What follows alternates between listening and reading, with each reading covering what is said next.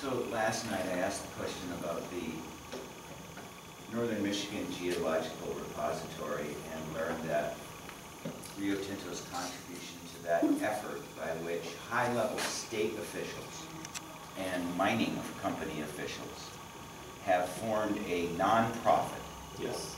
to store uh, mine cores. And the funds that Rio Tinto contributed to that, you didn't know last night, I don't know if you know now, but they're not included in that. pot. Correct. Okay.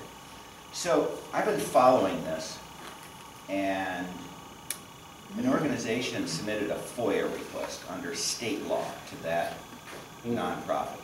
Are you familiar with that request? No, no. And so it wasn't responded to. Mm.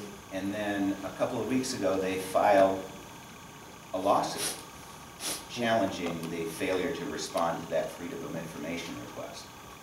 And so that got me thinking back to constitutional law and the 14th Amendment and the equal access provision under the 14th Amendment, which is squarely uh, focused on states it's my understanding that the requirement to maintain this core shed, this repository, is a state requirement. It's it's- it's state law.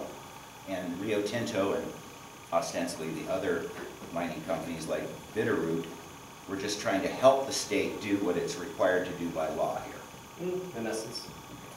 Yep. This is unusual and unprecedented. But I'd like to go to the, um, the uh, picture that you had in your explanation of how the TWIS operates.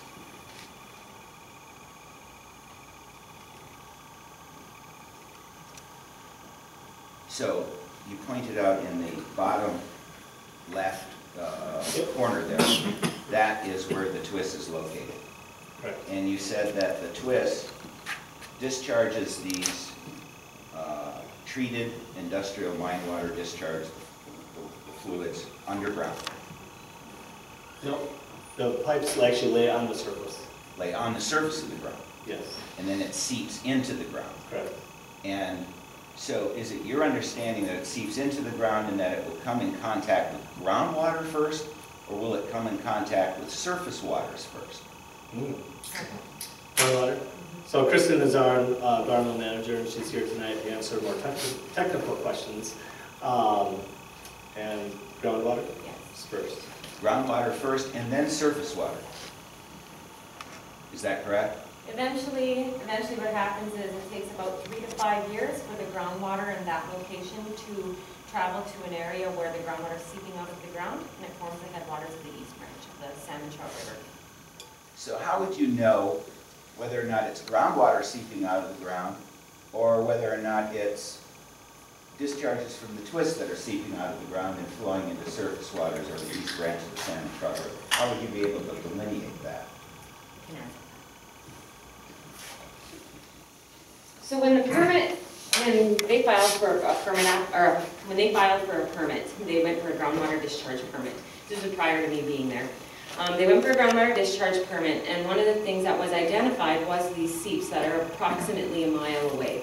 So if you look at the permeabilities and everything, it takes about three to five years for the water to travel that distance in that ground. So what happened was, the groundwater discharge permit applies the designated use for the salmon trout, the east branch of the salmon trout. The designated use would have certain surface water criteria associated with it, and those were applied to our permit as well as groundwater discharge requirements. So we monitor our, we monitor our water both with compliance points in the wells to, um, to abide by the groundwater regulations, but we also monitor our effluent to ensure that we meet surface water criteria at that venting location. So that's why we have a mercury limit that is 2.1 nanograms per liter, because we showed through modeling that traveling that distance through the ground, we would meet the 1.3 nanogram per liter requirement by the Great Lakes Initiative. So, so both criteria are applied in our groundwater discharge permit. just a couple of clarifying questions. So at the point in time that it was decided that the discharges from the TWIS would come in contact with groundwater that would eventually, five miles through modeling, I would, would assume you uh, project would then come in contact with surface water and flow into the east branch of the south Right. uh, of the- of of the uh, San Michelle River. That was before the TWIS was redesigned. Because the TWIS, and this- is, this is where I'm coming from, because Okay, no, Matt, Matt said that Brown made a mistake there, goes into the ground, because in March, March twenty-fourth, two thousand and ten, Rio Tinto wrote EPA a letter. You remember EPA was mandating an underground injection control permit under the Safe Drinking Water Act provisions, and Rio Tinto redesigned the TWIS mm-hmm. right before they wrote that letter, and said that, uh, do not, does not discharge fluids below the surface of the ground. So if you don't discharge fluids below the surface of the ground in the first place, how does it get to groundwater before it gets to surface water? because we're discharging, it's just like if you took a pitcher of water and poured it on the ground, it's gonna sink into the ground.